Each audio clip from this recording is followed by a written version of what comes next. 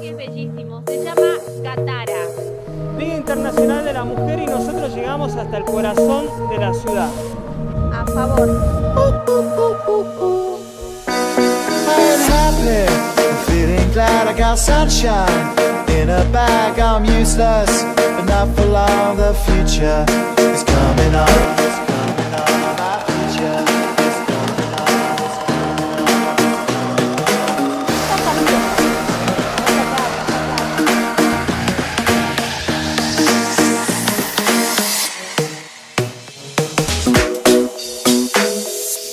este proyecto que ya ha disparado di- bastante polémica, genera discusiones y las va a seguir generando.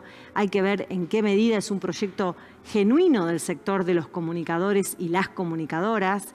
Así que bueno, es un tema que reviste un montón de discusión, porque el tema de la palabra, eh, la palabra no se puede privatizar nunca, la palabra es, es lo más libre que tiene que haber.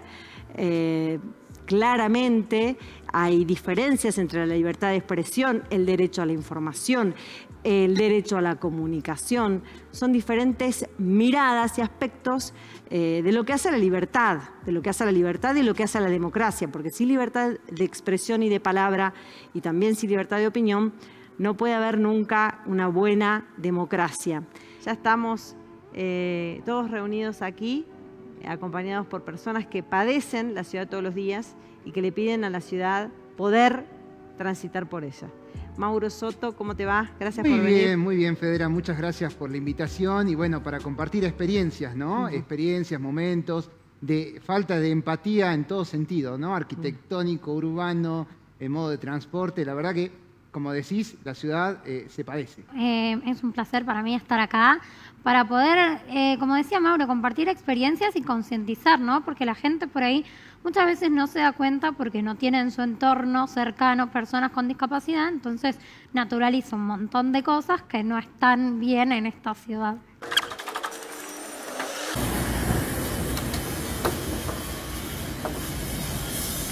Acá, por ejemplo, no está la continuación de la rampa. Alguien que tiene discapacidad motriz no se puede mover. en.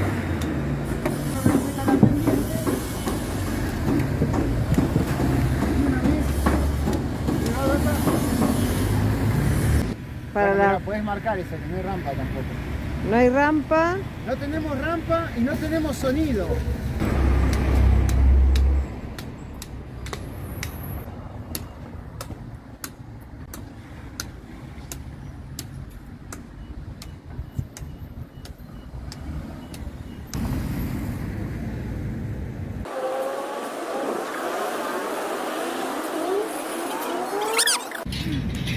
¿Qué pasaba si él no te ayudaba a cruzar?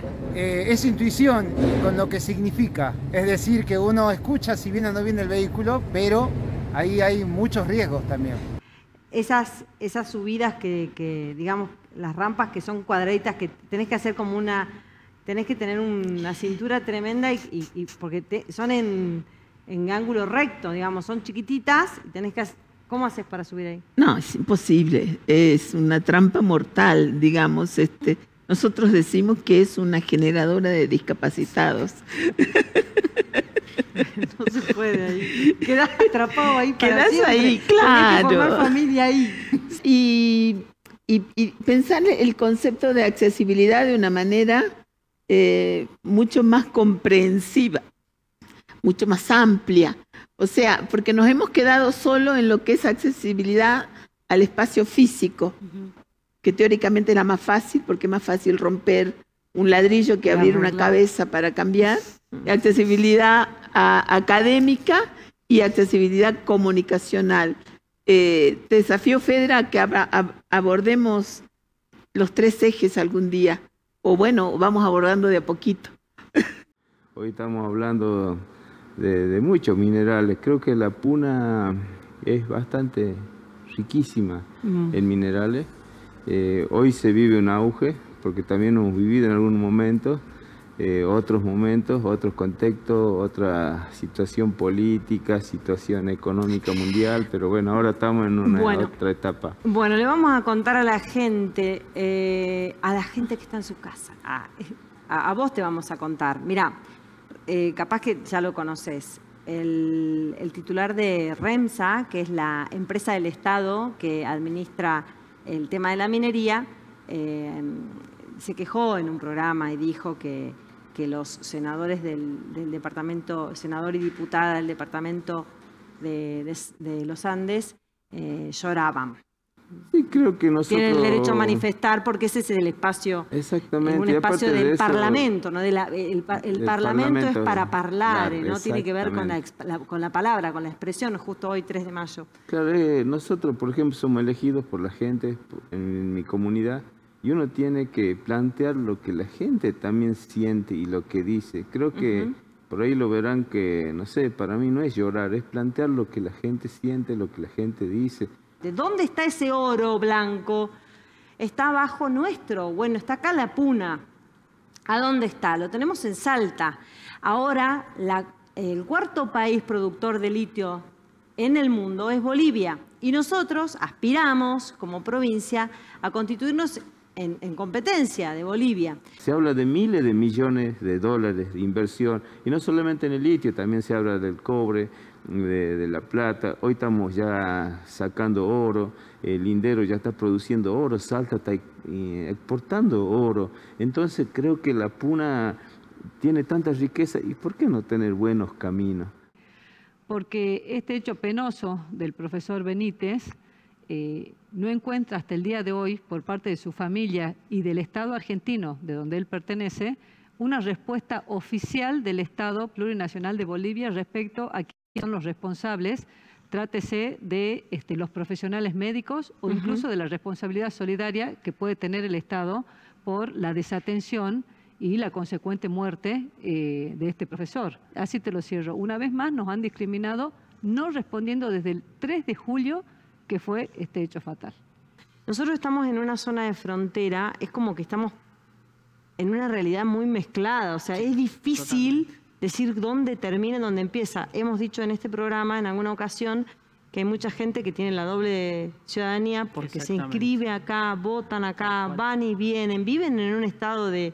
Digamos, hay muchos estudios sobre frontera en esto. De hecho, muchos bolivianos que han elegido Salta para vivir hoy tienen sus hijos nacidos acá en Salta eh, y es histórico, pero en lo personal, y me hago cargo de lo que digo, hay un gran desinterés del gobierno de Bolivia de poder generar el cumplimiento de estos, de estos tratados de, de reciprocidad.